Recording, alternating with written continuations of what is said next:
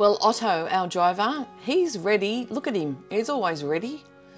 We're leaving Slovenia and we're going to um, go down the western coast, which is the Dalmatian coast.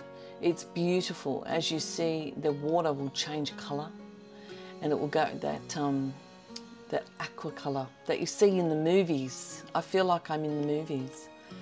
Anyway, we're going down uh, the Dalmatian coast and um, it's characterized by its good weather, its beaches, its regional seafood, and homegrown wine, which oh, I'm looking forward to. And yes, before you ask, the Dalmatian dog breed was named after this Adriatic coastal region of Dalmatia.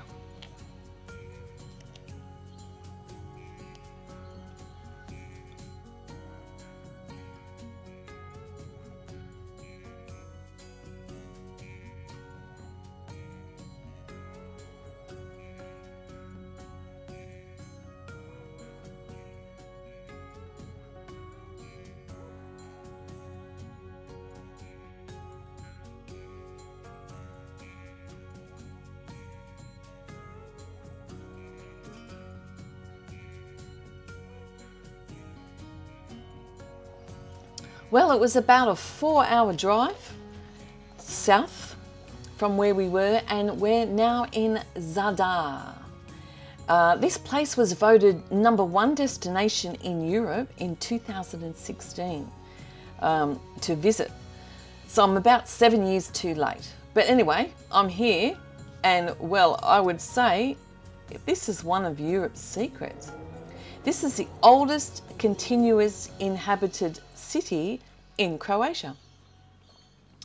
Uh, we're still on the Adriatic Sea. Uh, it's the wider northern Dalmatian region, and the city covers 25 square metres or 9.7 miles if you're there.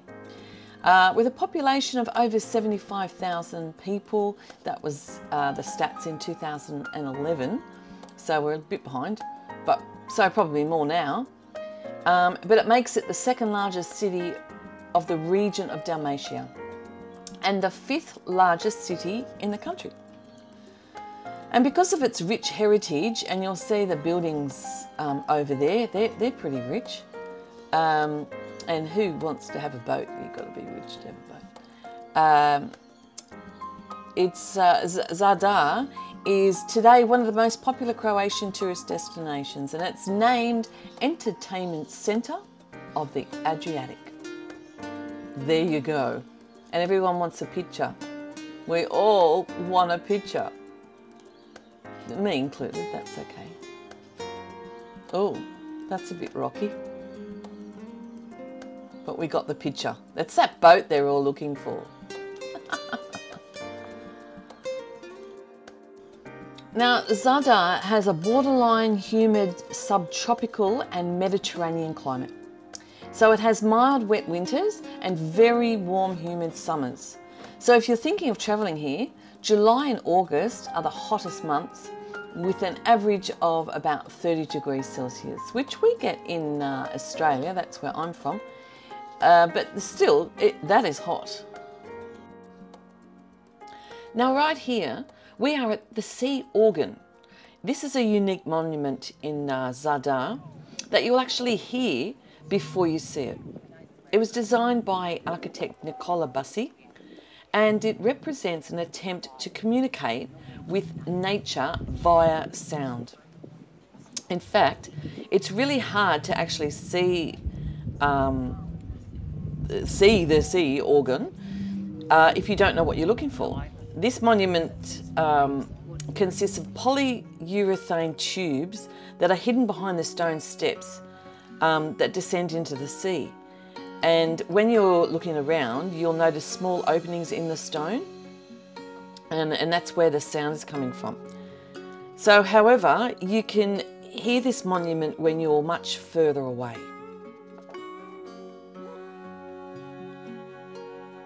Now, the same designer did something else here, and they call it Greeting to the Sun. The Greeting to the Sun is a popular monument that was, um, uh, as I said, designed by same, uh, Nikola Bašić, and it ties in with the sea organ. This monument stands on what is called the Rivas Pier, and it represents an attempt to communicate not with sound but with natural light. Uh, and it's only inches away from those polyurethane tubes. Now this monument consists of lead circles which represent the planets of the solar system and the sun. And the sun is obviously the largest light installation and the other circles um, compared to the sun are, are barely even noticeable.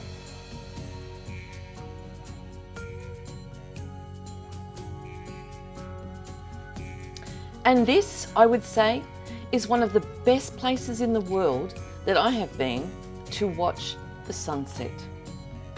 That's why, well, I think it's a bit of a secret.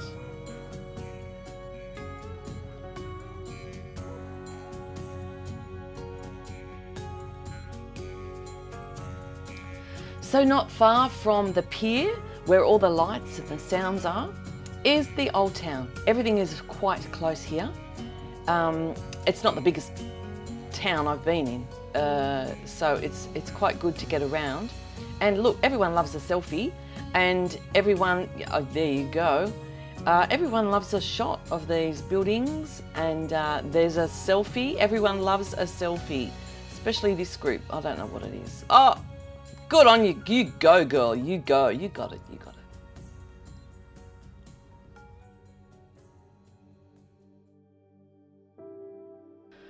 So here we have the uh, Church of St. Donatus, or Donat, is uh, I've seen it written. Um, it was uh, constructed in the 9th century and it's a Catholic church. I love churches. I don't know why, I just love churches. The Church of St. Donatus here in Zadar is located in the central part of the history centre of the city. It's on the ruins of an ancient forum, and initially it was dedicated to the Holy Trinity. And from the 15th century, it is named after Bishop Donatus. Now, according to the legend, he most likely had it built in the beginning of the 9th century, as I said earlier, and it was um, first mentioned around 1950 in the work on the administration of the state. So the church is a circular in shape uh, with a double ring and it stands out for its originality and of course the unique shape.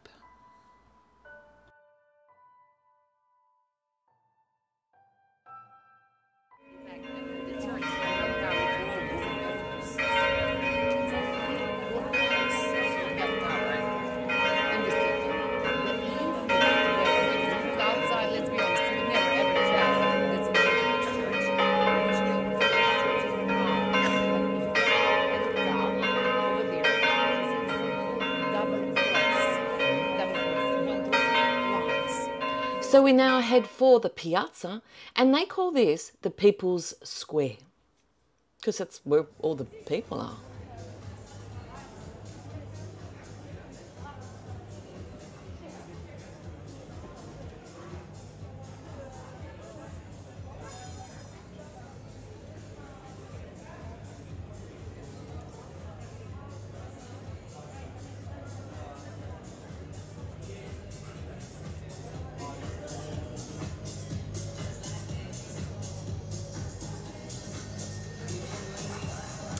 So they certainly love their sweets, uh, their ice cream. Look at that. That's amazing. I'm sorry about the glare, but I was on the outside and they face the outside. So going inside, you wouldn't see the same effect. That, that's just overload, sugar overload. Oh my God. But very creative. They're very creative. And there's lots of space in this piazza. Uh, not, as I said, like other European countries, like uh, say Venice, where you just cannot move. Um, it was quite refreshing to be to have all that space.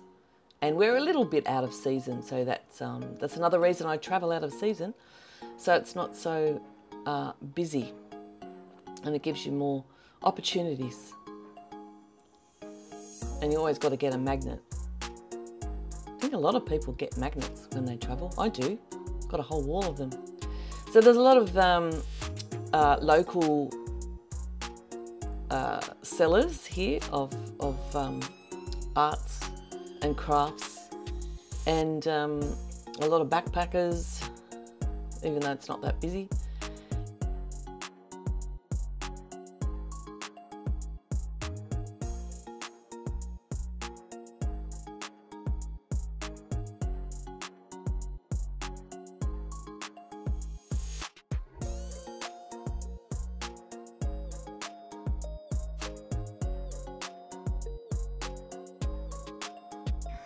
So I still say with everything else that goes on, I love an old town. And this one, totally refreshing because of the space. And uh, so much space, you can do, guess what? A selfie. Everyone loves this, well, not everyone, but a lot of people love selfies.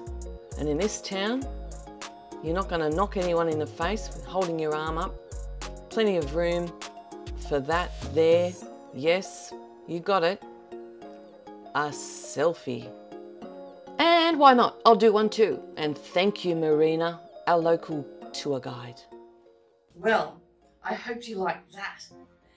This is, if not Europe's, it's Croatia's secret. This place is fantastic. It's got food, it had music, it had churches, it had the bells, and that had this sunset. So tell your friends or just don't tell them, just get here. Zadar in Croatia.